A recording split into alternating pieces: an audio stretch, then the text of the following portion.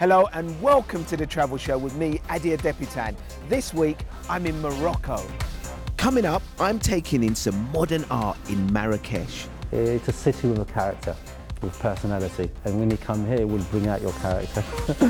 Lucy's got some light years ahead travel gadgets. If you're jet lagged in a foreign country or you're simply struggling to sleep, it could help you feel a lot more revitalised. We head to Lyon to explore the secret alleyways used by the French resistance in World War II. And Carmen takes on another Rugby World Cup challenge in Japan. Oh my gosh, ninja taxi! This is great!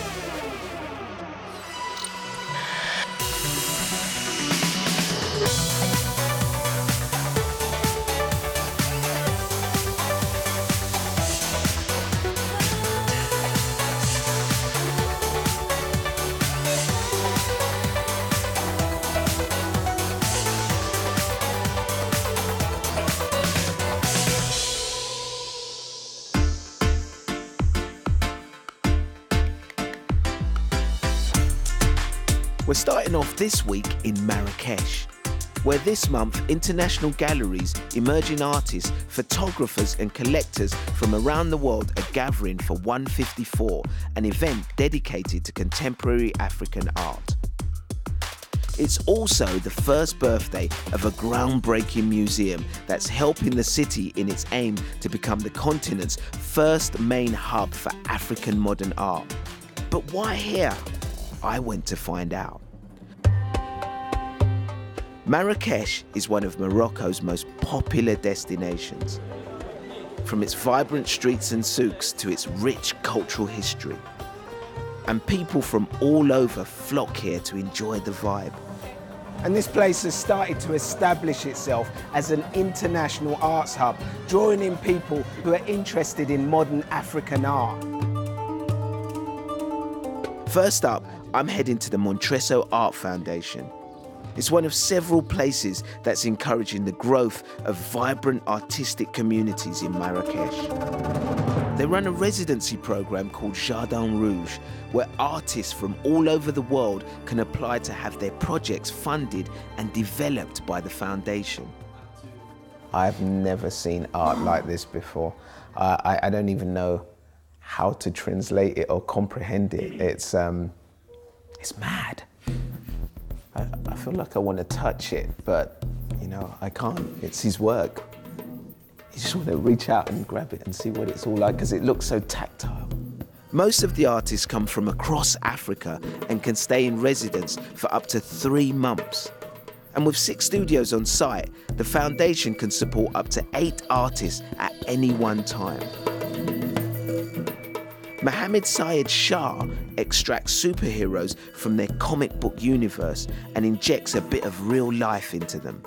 How did you find out about this place? um, there's a lot of talk about this place in Morocco, you know, uh, from the day one. I mean, from I started my my arts career, as it must be, because I, I used to be a banker. You used to be a banker. Yeah. So you've gone from a banker I- I to, a, to an artist. To an artist, yeah. I mean, that's extreme. So would you say Morocco is now becoming the hub or the central place if you're an artist? I don't know, man. I mean, there's kind of energy that brings people along Morocco. Maybe it's geographical position between Spain and Africa. It's a collision of cultures, isn't it? So when it, the collision of culture, it becomes kind of very interesting. Over the past few years, Marrakesh has seen a considerable amount of public and private investment into the arts. what is that? and several outreach programs designed to engage both the international and local community. And the newest addition to that program is where I'm off to next. This art museum was opened by the wealthy Lazrak family, and more than half of its exhibits come from their own private collection. Wow. This is just, it's bonkers. This says to me that absolutely anything can be art. Anything, because this is everything. MACAAL opened up last year, and twice a month They invite different community groups here to, to check out the museum. And um, they have this day, which is a combination of art and food, couscous and art. I'm going to join in.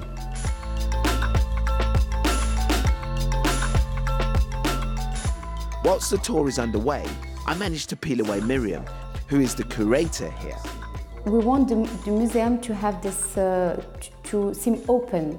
And that's our main mission at the Fondation Alliances and the MACAAL, is to democratize access to art and to make it really reachable to all audiences. Well, if you're adding couscous to art, that makes it reachable to many, many audiences. Couscous is traditionally served as a family dish here every Friday. And it's the same at the museum to encourage locals to visit and check out what's on offer in a country that traditionally views galleries as something only for the privileged. And it's all kinds of visual arts that are getting a boost here, including photography.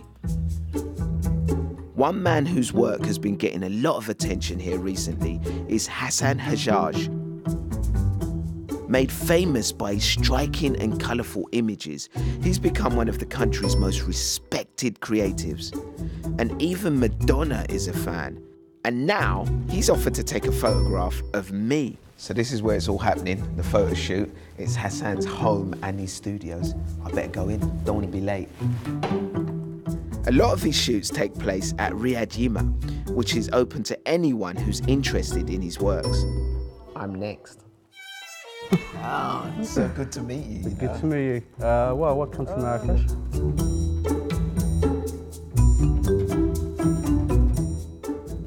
See, I'm going to get accustomed to this, and this is how you're going to have to treat me all the time at the travel show.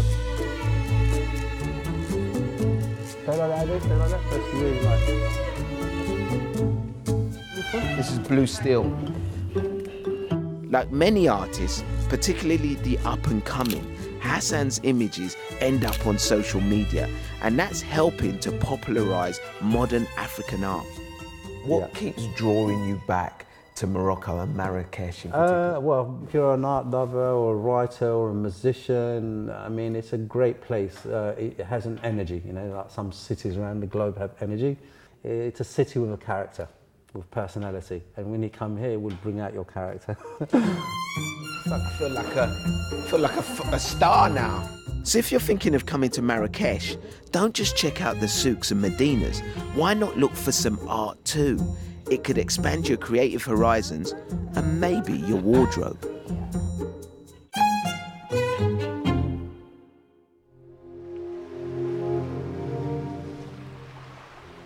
Now, later this year, we'll be marking the 75th anniversary of D Day, the Allied landings on the beaches of Normandy, which eventually led to France being liberated from German occupation.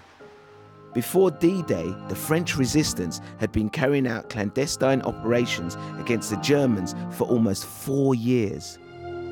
The city of Lyon was home to many resistance fighters, and if you head there, you can still see some of the alleyways and passages where they hid.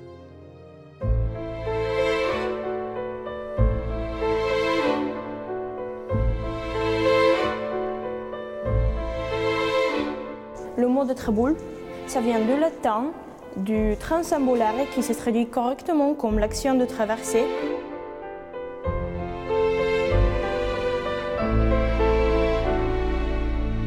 C'est un allée qui relie deux rues parallèles. C'était des îlots extrêmement étroites, euh, plutôt profonds, et là c'est un corps typique des maisons marchandes.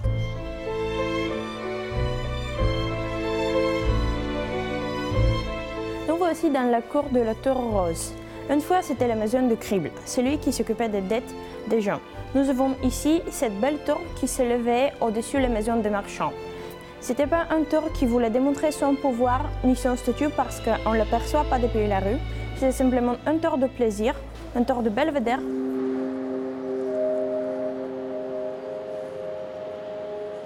Les traboules, c'est un dispositif de, passage entre les pâtés de maison qui permet euh, à beaucoup de résistants de s'échapper quand ils sont poursuivis par la police française ou pire par la, police allemande. Les résistants ont accès directement aux boîtes aux lettres Et il faut imaginer que pour organiser des réunions ou pour se transmettre des messages, c'est très compliqué.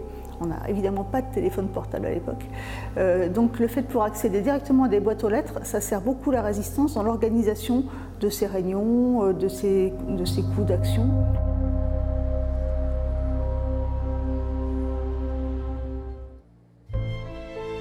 Aux années 60 du siècle dernier, le Vieux-Lyon était un quartier extrêmement mal famé. Le maire, Louis Pradel, il voulait le détruire parce qu'on considérait que c'était euh, moins cher et plus efficace de raser et après de reconstruire à nouveau. Sa volonté de Louis Pradel, c'était aussi de faire passer l'autoroute par ici, mais les Lyonnais, ils se sont dit non, ça fait partie de notre patrimoine. Euh, L'histoire de la résistance, elle est vraiment inscrite dans les murs de la ville et notamment dans, dans ces traboules.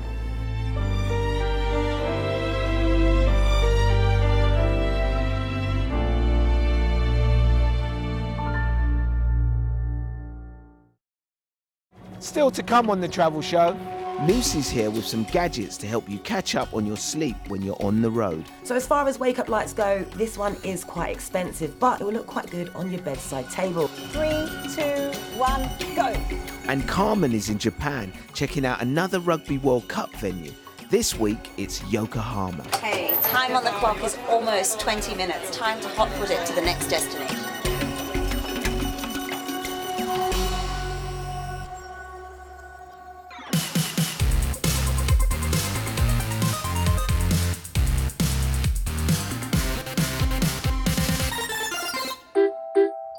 There are plenty of reasons to book a winter break in London, but the weather is certainly not one of them. So this month, we've got three gadgets that aim to get rid of the gloom and brighten up your getaway.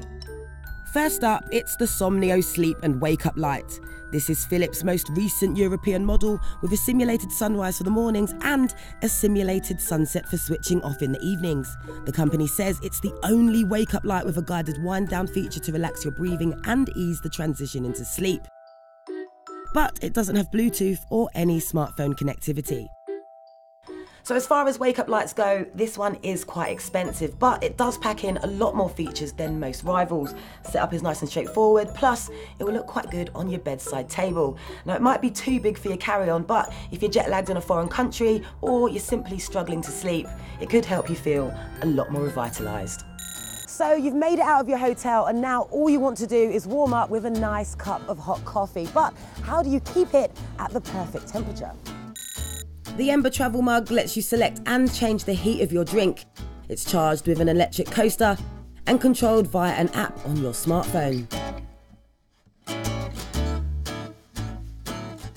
So Mike, this month we're taking a look at a bunch of gadgets that are designed to help you through the gloomy winter months, which ties in quite nicely with the rise of wellness tech. Yes. Talk to me about some of the, the gadgets that you've had hands-on time with. Things like the Apple Watch and Fitbit's kind of smartwatches and trackers, there's some really simple things around breathing. So this mm. idea that when you're kind of stressed and they see a spike in your heart rate, it will say, well look, take a minute out. It's also sleep. A lot of this tech can monitor sleep, but now it's about measuring and giving insights into what this sleep means. And so, you know, there's a lot happening in this space and it's exciting. It's definitely exciting. So what I think is really interesting is that we're seeing wellness features integrated into gadgets that you wouldn't really expect them to be, like this travel mug. Okay. Yeah, so you can connect it to the Apple Health app and you can use the data to get a better understanding of how caffeine affects your heart rate and your sleeping. In your expert opinion, would you say that these gadgets are actually making us feel better? I mean, that's an interesting point because I think there's a lot of scientific kind of and clinical kind of research that still needs to be done on aspects of this. Mm. I think maybe in really subtle and small ways it, it is. It's, it's prompting us to take more time out for ourselves and I think that's a kind of stepping block. So it's been about an hour since I met with Mike, and the app is telling me my drink is still at 60 degrees Celsius. So it's doing its job. But the company says it will only maintain that temperature for two hours. And for the price, I think it could last a little bit longer. But if you're a bit more fanatical about maintaining your drink's temperature than I am, it will certainly put an end to those cold coffee tantrums. And what if it all gets a little overwhelming and you need a break from your break? This is the silent mode audio mask, which is essentially a blackout eye mask with noise isolation speakers. So I've come to this ridiculously busy junction to find out just how calming it really is. The mask is lined with memory foam for a snug, comfortable fit, and it connects to an app which beams soothing sounds into your ears and leads you through meditation exercises.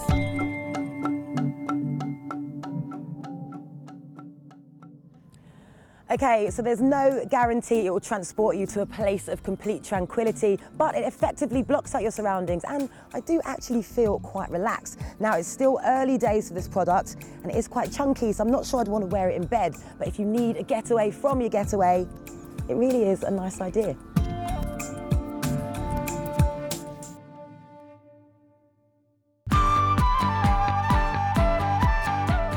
First time ever, the Rugby World Cup heads to Asia this year.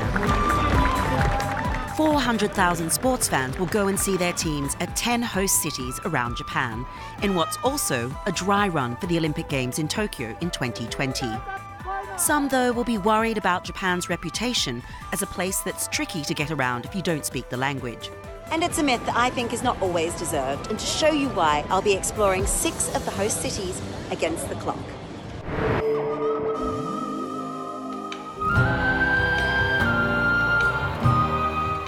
Yokohama is Japan's second biggest city and lies only 30 minutes outside the capital, Tokyo.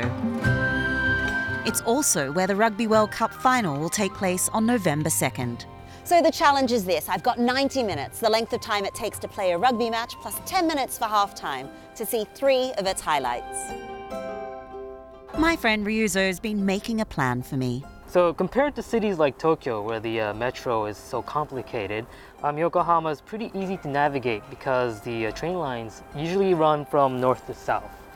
Also, because it's a port town, you can always see the ocean at some direction, so you know where you're going. It's a nighttime challenge, this one. Ryuzo set me up three activities here something to see, something to do, and something to eat. So I've got 90 minutes, and my time starts in three, two, one, go. And I start at the city's magnificent Ferris wheel.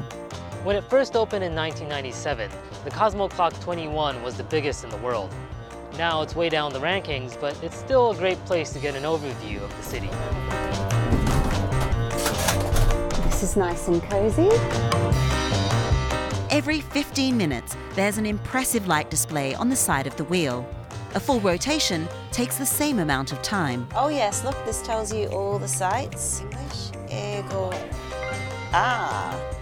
Oh look, there's Mount Fuji. If I look between these two buildings, but it's dark, so we can't see that.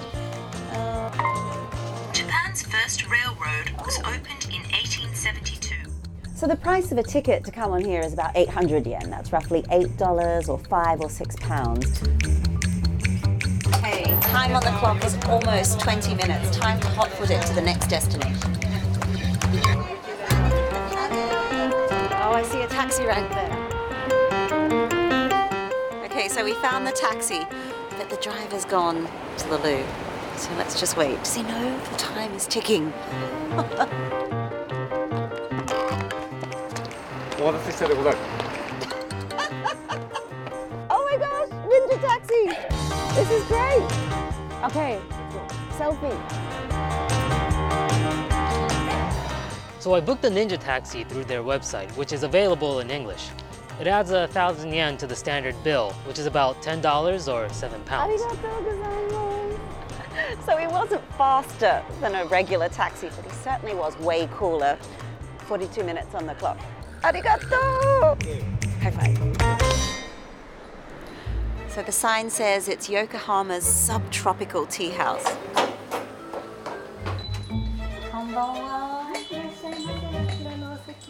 This is a twist on animal cafes you can find all over Japan. The subtropical tea house holds over 40 different reptiles you can share tea with. Just don't forget to wash your hands afterwards. I didn't expect them to be roaming free like this or be so big. Check out this guy.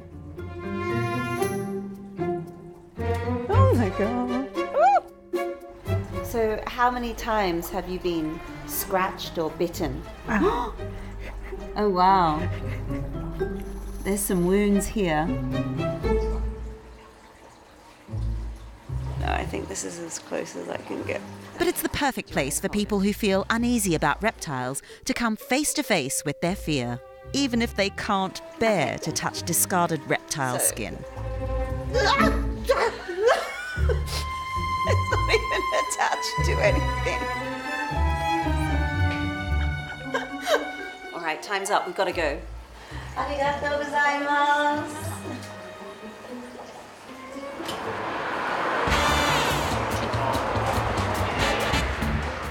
Your next destination is half an hour from here, so you'll have to hurry. Try taking the subway from Sakuragicho Station. Okay, time check. It's already one hour and four minutes, and I've got seven stops on the train. Okay, this is our stop. Gosh, I have no idea which exit, but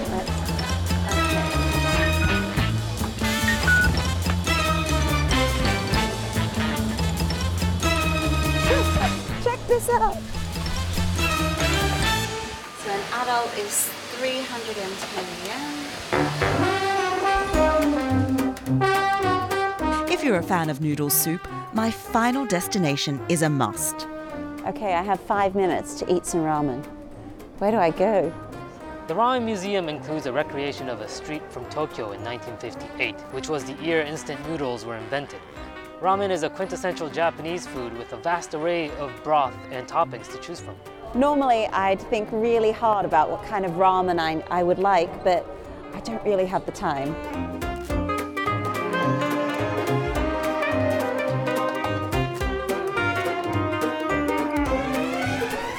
Oh, here we go, here we go. Arigatou gozaimasu. Okay, stop. One hour and 31 minutes. We're one minute over, but this definitely looks worth the wait.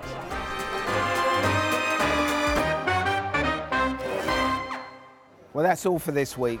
Coming up next week, we've got some movie magic for you. It's red carpet and awards week, so Mike's in Hollywood to check out a brand new museum built by the people behind the Oscars that's due to open later this year. It was in 1929 when Douglas Fairbanks and Mary Pickford were just starting the Academy. They said, it's already time for us to start thinking about a film museum. And here we are 90 years later, it's finally here, Los Angeles' first film museum. In the meantime, don't forget you can follow us on social media. All the links should be on your screens right now. But for now, from me, Ade Adepitan, and all the Travel Show team here in Morocco, it's goodbye.